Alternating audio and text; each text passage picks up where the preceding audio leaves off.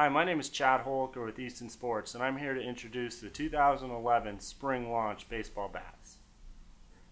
This is Easton's new Surge High School College Baseball Bat. It's a minus 3 length to weight ratio with a 2 and 5 8 inch barrel. It has Easton's high-end Scandium V12 alloy, and it also has a new spoked end cap that creates a distinctive sound. The main feature on this bat, however, is the extended barrel. This bat is a connection two-piece bat with a 90 flex rating. You can get all of the new 2011 spring launch products at monkeysports.com or their Santa Ana Superstore.